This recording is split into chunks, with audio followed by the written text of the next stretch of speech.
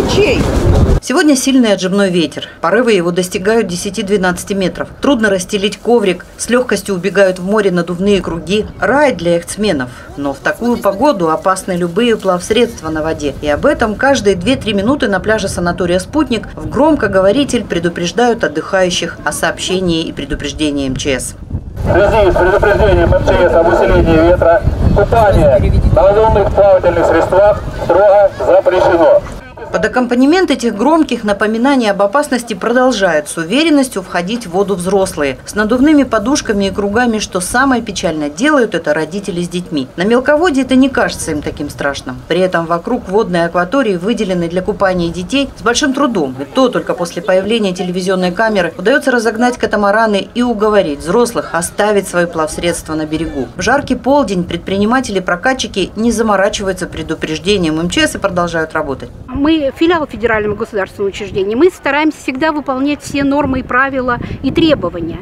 Но порой э, недобросовестно, когда начинается курортный сезон, нам приходится напрямую воевать с недобросовестными предпринимателями, которые э, значит, на территорию, не, не, не свою территорию, э, катамараны, надувные всевозможные горки, всевозможные значит, аттракционы ставят, и нам приходится и пограничников подключать, и отдел МВД, и линейную полицию, а также неоднократно писать письма в нашу администрацию.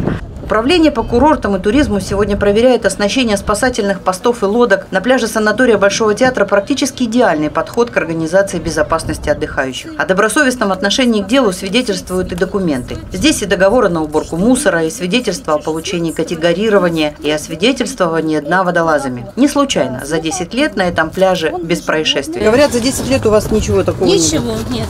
У нас прекрасно, все очень ответственные ребята. В шторм никого не пускают отдыхают, следят за акваторией, следят за территорией. Ну, конечно, приходится оказывать помощь соседним пляжам. Угу. На уютной территории особенно хорошо и спокойно детям. Считают ли они пляж уютным? Да, само собой. А, да, я считаю пляж чистый. А тебе приходилось наблюдать, когда его убирают? Ну, было пару раз. Ну, то есть это не особенно заметно, но пляжик всегда чистый, да? Да. А вы куда мусор выбрасываете, когда что-нибудь вкусненькое съели? В мусорку.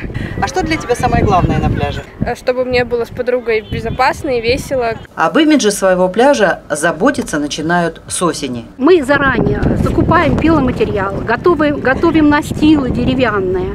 А при подготовке к курортному сезону неоднократно, неоднократно проходят кустовые совещания, на которых идет, значит, рассказывается тот объем работ, те мероприятия, которые мы должны выполнить по подготовке к курортному сезону. И всеми этими правилами и требованиями Нина Ивановна, ее специалисты и работники не пренебрегают. Они команда, которой можно гордиться.